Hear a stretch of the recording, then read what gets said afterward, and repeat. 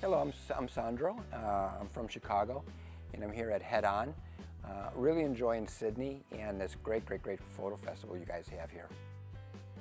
Well, the inspiration with Malkovich Malkovich Malkovich, homage to the masters, really came uh, out of, first, you know, it, it, started from a little bit of an illness that I had. I had a, uh, stage four cancer and it was a, it was a battle uh, for my life.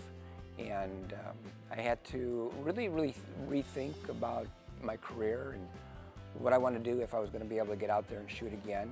And I had already had somewhat of a glorious career. And I kind of wanted to say thank you to the people that have helped me so much in my career, these great, great, great photographers who had inspired me um, to you know, think of portraiture in a different way, how powerful that single image is of a person.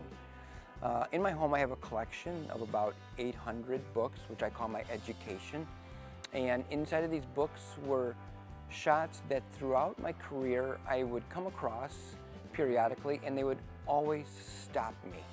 You know, they would make me think about how powerful that portrait is, how strong it is, how that one picture is telling such a great story of that person.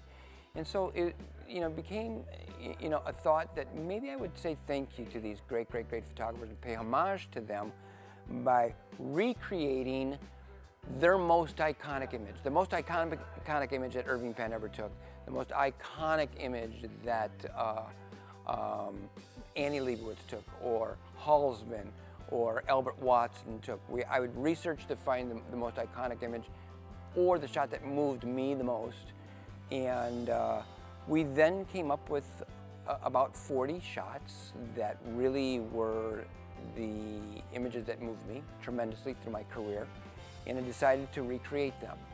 Uh, I jumped on an airplane, went to the south of France to John Malkovich's home, and you know, showed John my idea and see if I could get him to hop on board with me.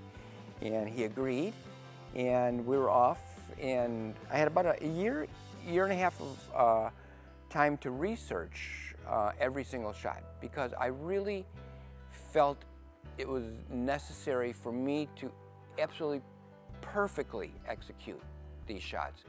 It couldn't have been done mediocre. I think it would have been left out of the community. Um, I needed people to understand and I needed to feel what these photographers went through when they shot these original shots. Uh, and I wanted the Photographic Society to really, through these photographs, understood that there was a lot of work that went into producing this, uh, this project.